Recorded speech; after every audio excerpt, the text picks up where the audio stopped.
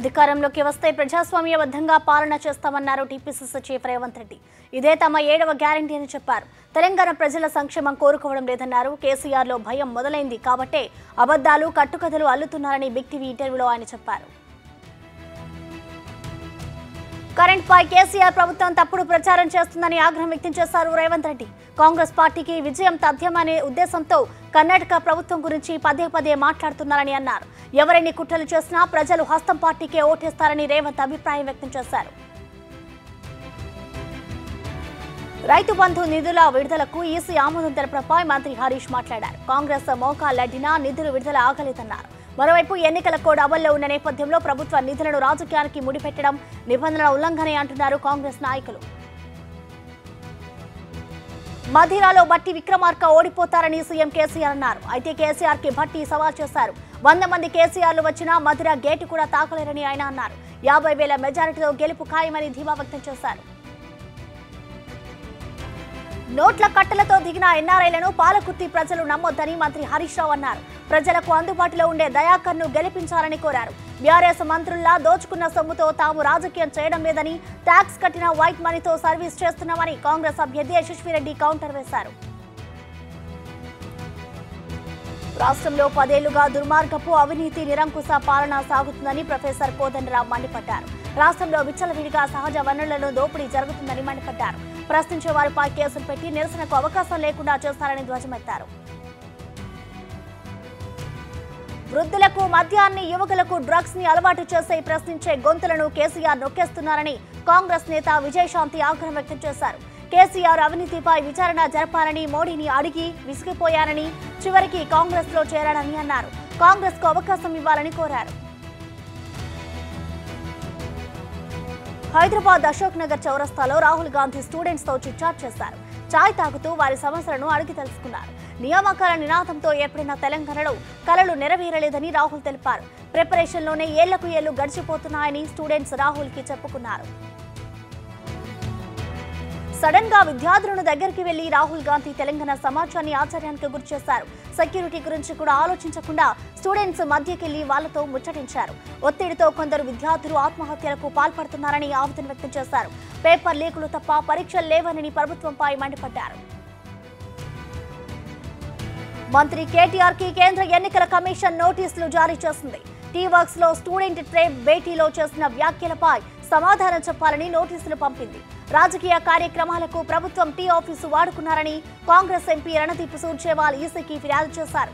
ఆదివారం మధ్యాహ్నం మూడు గంటల్లోపు వివరణ ఇవ్వాలని ఈసీ ఆదేశించింది. కొడంగల్ బీఆర్ఎస్ అభ్యర్థి పట్నం నరేందర్ రెడ్డిపై హత్యాయత్నం కేసు నమోదైంది. కాంగ్రెస్ కార్యకర్త కూర నరేష్ పై కర్రలతో దాడి చేసి పట్నం నరేందర్ రెడ్డి చావబాదారని ఆరోపణలు వచ్చాయి. ఈ కేసులో మొత్తం ఎనిమిది మందిపై ఎఫ్ఐఆర్ నమోదైంది. ఏవన్గా పట్నం నరేందర్ రెడ్డిని ఎఫ్ఐఆర్లో చేర్చారు. నారాయణపేట జిల్లా కోస్గిలో తమ కార్యకర్తలపై బీఆర్ఎస్ శ్రేణులు దాడి చేస్తారని కాంగ్రెస్ నేత తిరుపతి రెడ్డి ఆరోపించారు. కూర నరేష్ అనే కార్యకర్తను కారులో వచ్చి బలవంతంగా మున్సిపల్ చైర్పర్సన్ గెస్ట్ హౌస్కు తీసుకెళ్ళి రాడ్లతో దాడి చేశారని బాధితుడితో పాటు తిరుపతి రెడ్డి ఆరోపించారు. నరేందర్ రెడ్డి హైదరాబాద్ నుంచి గుండాలను తీసుకువచ్చి దగ్గర ఉండి దాడి చేయించారని వీరికి స్థానిక పోలీసులు సహకరిస్తున్నారని మండిపడ్డారు. ఓటరు గుర్తింపు కార్డుల జారీకి తపాలా శాఖ ప్రత్యేక చర్యలు తీసుకుంటోంది.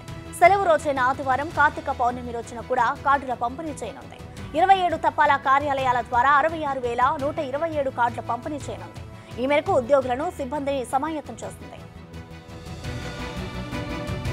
పవన్ కళ్యాణ్ పై డైరెక్టర్ రామ్ గోపాల్ వర్మ సెటైర్లు వేశారు. తెలంగాణలో పవన్ కళ్యాణ్ పాల్గొన్న సభ ఇంత పేలవంగా ఉండడం తానెప్పుడూ చూడలేదన్న ఆయన తాండూరు సభలో మాట్లాడేటప్పుడు మైక్ సౌండ్ కూడా సరిగ్గా రాలేదని ఎద్దేవా చేశారు. పవన్తో పోలిస్తే నిరుద్యోగుల కోసం పోరాడుతున్న బర్రె లెక్క చాలా బెటర్ అంటూ ఆర్జీవీ ట్వీట్ చేశారు. విశాఖలో బోట్లు కోల్పోయిన బాధితులకు టీడీపీ ఆర్థిక సాయం చేయనుంది. బోటు పూర్తిగా కాలిపోయిన వారికి లక్ష రూపాయలు ఇవ్వాలని నిర్ణయం తీసుకున్నట్లు టీడీపీ రాష్ట్ర అధ్యక్షుడు అచ్చెన్నాయుడు తెలిపారు. బోటు పాక్షికంగా కాలిపోయిన వారికి యాభై వేలు బోట్లలో పనిచేసే సిబ్బందికి ఐదు వేల చొప్పున సాయం అందజేస్తామన్నారు. హైదరాబాద్లో ఎక్సైజ్ ఉన్నతాధికారులతో ఆబ్కారీ శాఖ కమిషనర్ సమీక్ష నిర్వహించారు. ఎన్నికలకు నలభై ఎనిమిది గంటల ముందే మద్యం దుకాణాలు మూసివేయాలని ఆదేశాలు జారీ చేశారు. అక్రమ మద్యంపై నిఘా ఉంచాలని చెప్పారు. పన్నెండు వందల డెబ్బై తొమ్మిది మద్యం దుకాణాలు సమస్యాత్మకమైనవిగా గుర్తించినట్లు ఇప్పటి వరకు నూట పదిహేను కోట్లకు పైగా విలువైన అక్రమ మద్యం డ్రగ్స్ సీజ్ చేసినట్లు తెలిపారు. టీడీపీ అధినేత చంద్రబాబు నాయుడు నేడు ఢిల్లీకి వెళ్ళనున్నారు. పర్యటనలో భాగంగా చంద్రబాబు తరఫు న్యాయవాది సిద్ధార్థ లూత్రా కుమారుడి వివాహానికి హాజరు కానున్నారు. వివాహం అనంతరం ఆయన హైదరాబాద్కు తిరిగి రానున్నారు. అయితే ఆయన కేంద్ర నాయకులను కలిసే అవకాశం లేనట్లు తెలుస్తోంది. టీ కాంగ్రెస్ ఎన్నికల ప్రచారాన్ని పరుగులు పెట్టిస్తోంది. నేడు తెలంగాణలో కర్ణాటక సీఎం సిద్ధరామయ్య పర్యటించనున్నారు. జిహెచ్ఎంసీ పరిధిలోని పలు నియోజకవర్గాల్లో సిద్ధరామయ్య ప్రచారం చేయబోతున్నట్లు పార్టీ వర్గాలు తెలిపాయి. టూర్లో భాగంగా బీఆర్ఎస్ నేతలు కర్ణాటక ప్రభుత్వంపై చేస్తున్న ఆరోపణలపై రేపు గాంధీ భవన్లో సిద్ధరామయ్య మీడియా సమావేశం నిర్వహించబోతున్నారు. రైతు బంధుకు లేని అడ్డు దళిత బంధు బీసీ బంధు మైనార్టీ బంధుకు ఎందుకని టీపీసీసీ అధ్యక్షుడు రేవంత్ రెడ్డి ప్రశ్నించారు. దీనికి నిరసనగా ఇవాళ అన్ని మండల కేంద్రాల్లో ప్రభుత్వ దిష్టి బొమ్మలను దహనం చేయాలని పిలుపునిచ్చారు. అవి ఇచ్చే వరకు బీఆర్ఎస్ నాయకులను గ్రామాలకు రానివద్దని సూచించారు. రాజస్థాన్లో ప్రశాంతంగా అసెంబ్లీ ఎన్నికల పోలింగ్ ముగిసింది. స్వల్పంగా చెదురుమదురు ఘటనలు మినహా ప్రక్రియ మొత్తం ప్రశాంతంగా సాగింది. సమయం ముగిసినప్పటికీ క్యూ లైన్లో ఉన్న వారికి ఓటు వేసే అవకాశం ఇచ్చారు. ఓవరాల్గా డెబ్బై శాతం పోలింగ్ను ఎక్స్పెక్ట్ చేస్తున్నారు. పోలింగ్ పూర్తయిన చోట ఎలక్ట్రానిక్ ఓటింగ్ యంత్రాలను స్ట్రాంగ్ రూమ్లకు తరలించారు. ఓటమి భయంతోనే కేసీఆర్ పాలమూరుకు వచ్చారని టీపీసీసీ అధ్యక్షుడు రేవంత్ రెడ్డి విమర్శలు చేశారు. పదేళ్ళలో కేసీఆర్ లక్ష కోట్లు దోచుకున్నారని ఆరోపించారు. పోలింగ్ నాలుగు రోజుల ముందు రైతు బంధు నిధుల విడుదలకు అనుమతి వచ్చిందని బీజేపీ బీఆర్ఎస్ వీటిని విడుదల చేయించాయని చెప్పారు. హైదరాబాద్ అభివృద్ధి కోసం చంద్రబాబు రాజశేఖర రెడ్డి కృషి చేశారని Karnataka deputy CM DK Shivakumar అన్నారు. హైదరాబాద్ బెంగళూరు నగరాలు దేశానికి కవల పిల్లలు వంటివని చెప్పారు. తెలంగాణ ఇచ్చిన సోనియా గాంధీకి ప్రజలు బహుమతి ఇచ్చే సమయం ఆసన్నమైందని పేర్కొన్నారు. ఏపీ సీఎం జగన్ నేడు తిరుపతి వెళ్ళనున్నారు. ప్రధాని మోదీ తిరుమలకు వస్తుండటంతో ఆయనకు స్వాగతం పలుకుతారు. సాయంత్రం ఐదు గంటలకు రేణుగుంట విమానాశ్రయంలో స్వాగతం పలికిన అనంతరం తిరిగి తాడేపల్లి చేరుకుంటారు. ప్రస్తుతం ప్రధాని మోదీ తెలంగాణ ఎన్నికల ప్రచారంలో ఉన్నారు. తాండూరు నియోజకవర్గంలో బీజేపీ జనసేన ఉమ్మడి అభ్యర్థి నేమూరు శంకర్ గౌడ్ తరపున ప్రచారం కోసం పవన్ కళ్యాణ్ వచ్చారు.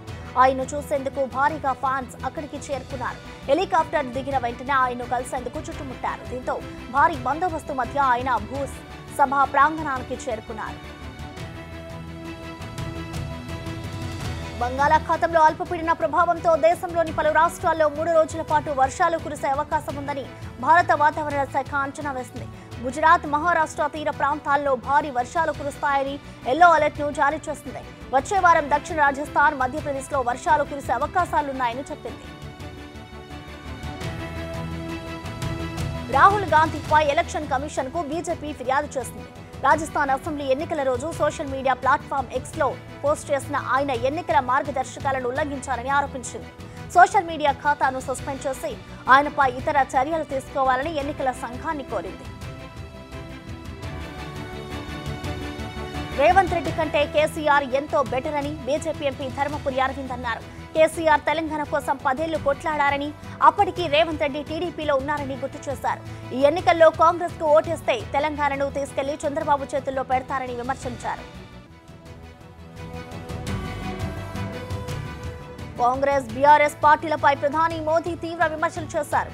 కాంగ్రెస్ వేల కోట్ల అవినీతి తెలంగాణ యువతకు తెలుసని చెప్పారు. ఇరిగేషన్ స్కీమ్ కాస్త ఇరిగేషన్ స్కామ్గా మారిపోయిందని ఎద్దేవా చేశారు. దళిత బంధు ఎమ్మెల్యే బంధుగా మారిపోయిందని మొదటి గిరిజన రాష్ట్రపతి ముర్మును ఓడించడానికి బీఆర్ఎస్ ఓడించిందని విమర్శించారు. బీఆర్ఎస్ కాంగ్రెస్ పట్ల అప్రమత్తంగా ఉండాలని కాంగ్రెస్కు కేసీఆర్ ప్రాణమిత్రుడన్నారు ప్రధాని మోదీ. కాంగ్రెస్లో గెలిచి ఎంతో మంది బీఆర్ఎస్లో మంత్రుల పదవులు తీసుకున్నారని గుర్తు చేశారు.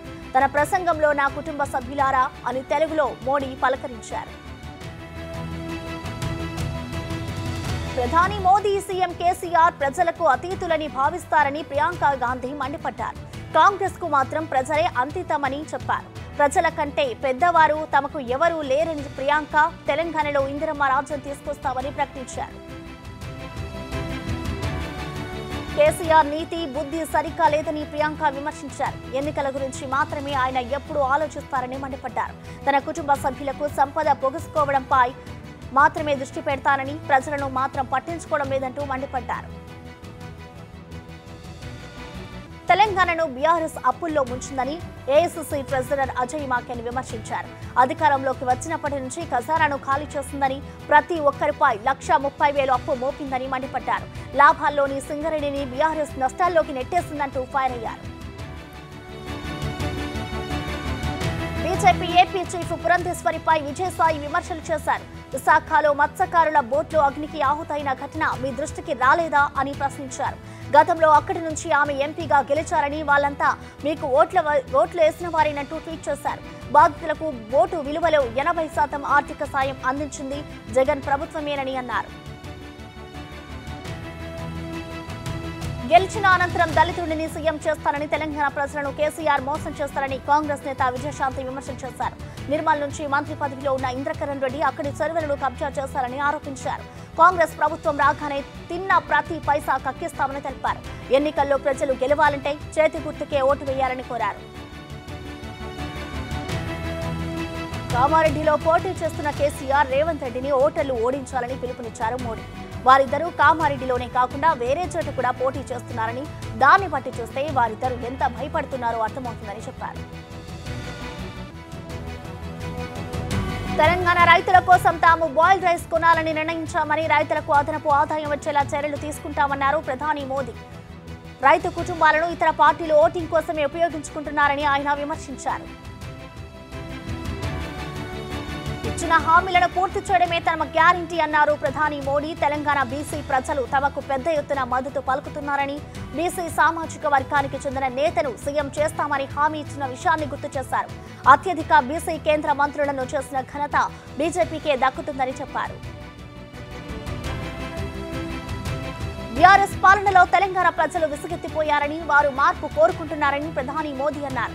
సకల జనుల సౌభాగ్యం కోసమే బీజేపీ పనిచేస్తుందని తాము ఇప్పటి వరకు చేసిన వాగ్దానాలన్నింటినీ పూర్తి చేస్తామని అన్నారు. తెలంగాణలో పసుపు బోర్డు కేంద్ర గిరిజన యూనివర్సిటీ ఏర్పాటు చేస్తామని రామ మందిరం నిర్మిస్తామని ఇచ్చిన హామీలు పూర్తవుతున్నాయన్నారు.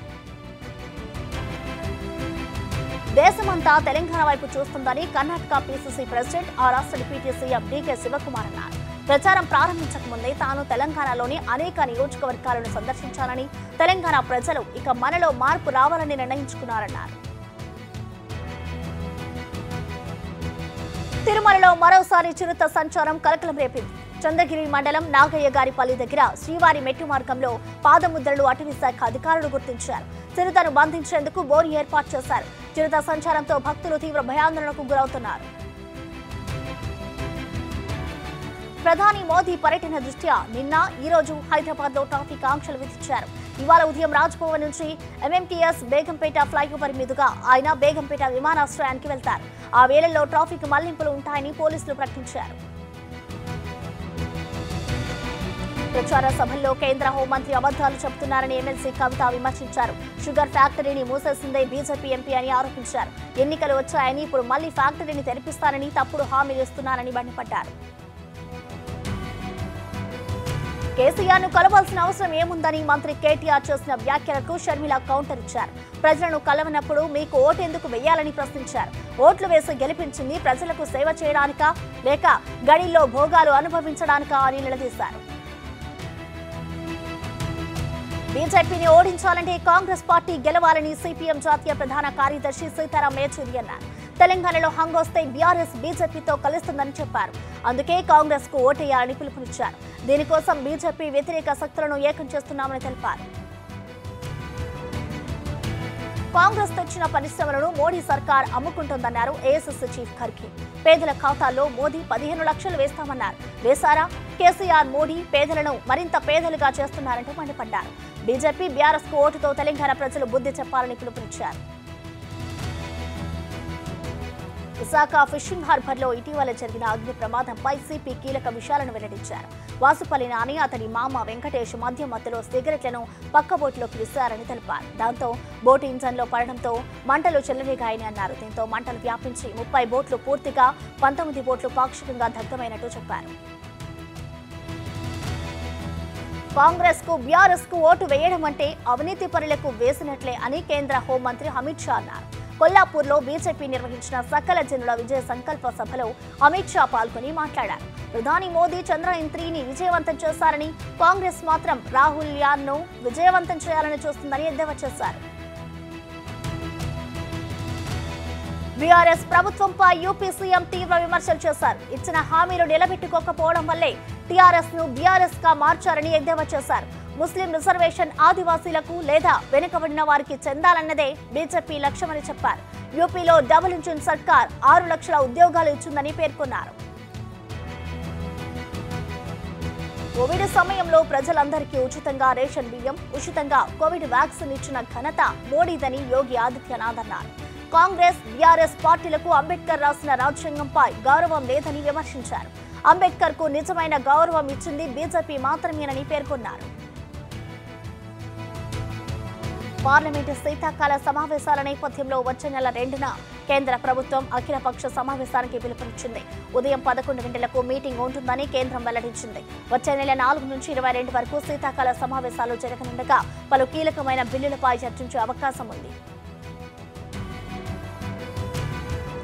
ఉత్తరకాశీ సొరంగానికి డ్రిల్ వేయడం సమస్య కాదని లోపల ఉన్న బాధితులకు ఎలాంటి హాని జరగకుండా బయటకు తీసుకురావడమే కష్టసాధ్యంగా మారిందని అంతర్జాతీయ టన్నెలింగ్ ఎక్స్పర్ట్ చెబుతున్నారు. అగర్ యంత్ర పాడవడంతో మాన్యువల్గా సొరంగాన్ని తవ్వడమే ఆఖరి మార్గమని క్రిస్మస్ లోపల బాధితులను వారి ఇళ్ళకు చేరుస్తామని చెబుతున్నారు. సొరంగంలో చిక్కుకున్న నలభై ఒక్క మంది కార్మికులను కాపాడేందుకు చేపట్టిన సహాయక చర్యలలో అగర్ మిషన్ బ్లేడ్లు పూర్తిగా దెబ్బతిన్నాయని ముఖ్యమంత్రి పుష్కర్ సింగ్ దామి తెలిపారు. లోపల ఇరుక్కుపోయిన అగర్ మిషన్ బ్లేడ్లను కట్ చేసేందుకు అవసరమయ్యే ప్లాస్మా కట్టర్ను హైదరాబాద్ నుంచి విమాన మార్గంలో తీసుకొస్తున్నామని ఆయన తెలిపారు. అంతరిక్ష రంగ అభివృద్ధికి అనవసరమైన ఆంక్షలు నియంత్రణలను వదిలించుకోవాల్సిన అవసరం ఉందని ఇస్రో చైర్మన్ సోమనాథ్ అన్నారు. అంతరిక్ష రంగం వేగవంతమైన వృద్ధికి నియంత్రణ చాలా ముఖ్యమైందన్నారు. భారత్ అంతరిక్ష విజ్ఞాన ప్రపంచంలో దేశం గణనీయమైన ప్రగతిని సాధించిందని ఆయన వ్యాఖ్యానించారు. ఐదు ఐ- ఐరోపా దేశాలతో పాటు మలేసియాకు చైనా ఉచిత వీసా ప్రవేశ అవకాశం కల్పించింది. వ్యాపార పర్యాటక రంగాల్లో ఆయా దేశాలకు చెందిన పౌరులను ప్రోత్సహించేందుకు ఈ నిర్ణయం తీసుకుంది. డిసెంబర్ ఒకటి నుంచి పదిహేను రోజుల పాటు France Germany Italy Netherlands Spain Malaysia దేశాలకు ఈ అవకాశం కల్పించింది. ఇజ్రాయెల్ హమాస్ మధ్య సంధి ఒప్పందంలో భాగంగా ఇరు వర్గాలు తమ వద్ద ఉన్న బందీలను మార్చుకుంటున్నాయి. తాజాగా హమాస్ ఇరవై నాలుగు మందిని విడుదల చేయగా మరో పద్నాలుగు మందిని విడుదల చేయనుంది. వీరిని ఇజ్రాయెల్కి అప్పగించాలని హమాస్ భావిస్తోంది. దీనికి బదులుగా నలభై రెండు మంది ఖైదీలను ఇజ్రాయెల్ విడుదల చేయనుంది. పాకిస్తాన్ కరాచీలోని ఓ షాపింగ్ మాల్లో భారీ అగ్ని ప్రమాదం జరిగింది. ప్రమాదంలో తొమ్మిది మంది మరణించగా మరికొందరికి గాయాలయ్యాయని అధికారులు చెప్పారు. యాభై మందిని అగ్నిమాపక సిబ్బంది రక్షించారని ఇంకా భారీ సంఖ్యలో ప్రజలు భవనంలోనే ఉన్నారని స్థానిక మీడియా పేర్కొంది. ప్రసిద్ధ పుణ్యక్షేత్రం శబరిమలలో భక్తుల రద్దీ కొనసాగుతోంది. స్వామి దర్శనానికి వివిధ ప్రాంతాల నుంచి భక్తులు తరలివస్తున్నారు. ఈ ఏడాది మండలం మకర విలక్కు వేడుకలు ఈ నెల పదిహేడవ తేదీ నుంచి ప్రారంభమయ్యాయి. ఇప్పటి వరకు ఐదు లక్షల మందికి పైగా భక్తులు అయ్యప్పను దర్శించుకున్నట్లు అధికారులు తెలిపారు. ఇటీవల మంత్రివర్గంలో మార్పుల తర్వాత బ్రిటన్ ప్రధాని రిషి సునాక్ ప్రభుత్వానికి కొన్ని ఇబ్బందులు ఎదురయ్యాయి. శీతాకాల బడ్జెట్లో కొన్ని రకాల పన్నులను తగ్గించనున్నట్లు ప్రకటించడంతో సునాక్తో పాటు ప్రభుత్వానికి ప్రజాదరణ స్వల్పంగా పెరిగినట్లు తాజా సర్వేలో వెల్లడైంది. సునాక్ ప్రభుత్వ పాపులారిటీ రేటింగ్ ఇరవై ఐదు శాతానికి చేరినట్లు తెలిసింది. ఇండియా ప్రధాన కోచ్గా రాహుల్ ద్రవిడ్ పదవీ కాలం ముగిసింది. ఈ పదవిలో ఆయన కొనసాగే అవకాశం లేనట్లు కనిపిస్తోంది. దీంతో గంభీర్ స్థానంలో ద్రవిడ్ను మెంటర్గా నియమించుకునేందుకు లక్నో ఆసక్తి చూపుతున్నట్లు సమాచారం. కోచ్గా ద్రవిడ్ కొనసాగకపోతే నేషనల్ క్రికెట్ అకాడమీ హెడ్గా ఉన్న వివిఎస్ లక్ష్మణ్ను ఆ స్థానంలో నియమించే అవకాశం ఉంది. నటి ఇలియానా ఇటీవల ఓ బాబుకు జన్మనిచ్చింది. సినిమాలకు దూరంగా ఉన్న ఆమె తాజాగా ఇన్స్టాగ్రామ్ వేదికగా అభిమానులతో ముచ్చటించారు. ఓ నెటిజన్ సింగిల్ పేరెంట్గా బేబీని ఎలా పెంచగలుగుతున్నారు అని అడుగుతాడు. దీనికి ఇలియానా నేను సింగిల్ పేరెంట్ కాదు అని తన పార్ట్నర్ ఫోటో షేర్ చేస్తుంది. త్వరలోనే తాను సినిమాల్లోకి రీ ఎంట్రీ ఇస్తానని తెలిపింది.